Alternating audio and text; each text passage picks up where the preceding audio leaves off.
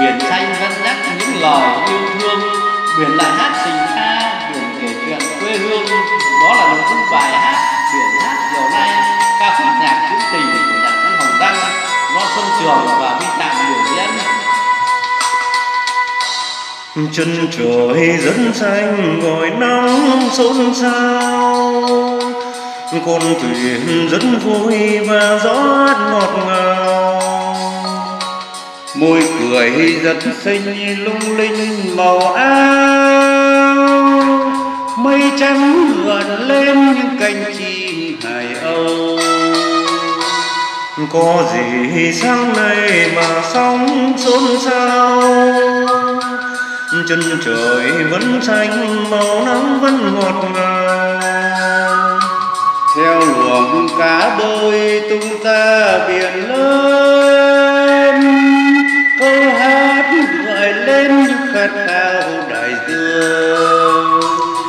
Với biển Việt Nam với sóng Việt Nam, qua bao nhiêu thăng trầm mà chiều nay vẫn dịu dàng vùi sâu dưới đáy những gì đau thương, biệt lời hát tình ca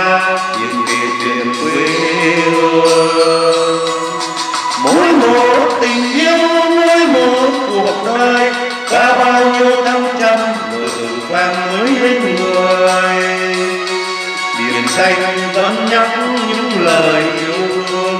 Biển lời hát tình ca, biển kể chuyện quê hương. Biển xanh vẫn nhắc những lời yêu thương. Biển lại hát tình ca, biển kể chuyện quê hương.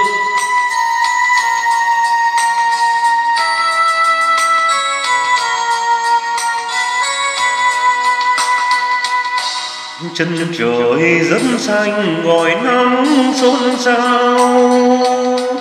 Con thuyền rất vui và gió hát ngọt ngào.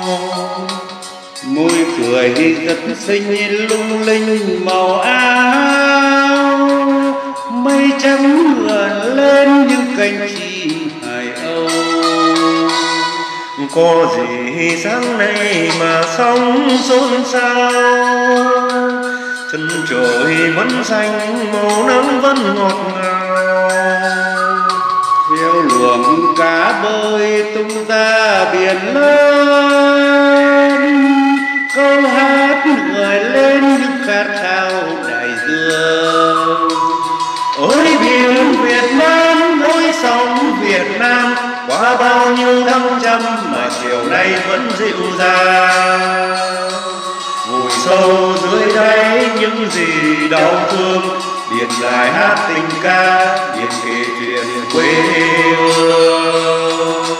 Mỗi một tình yêu, mỗi một cuộc đời, qua bao nhiêu năm trăm lửa từng mới đến người. Biển xanh vẫn nhắc những lời yêu thương. Biển lại hát tình ca biển kể chuyện quê hương xanh vẫn nhắc những lời yêu thương điệp lời hát tình ca.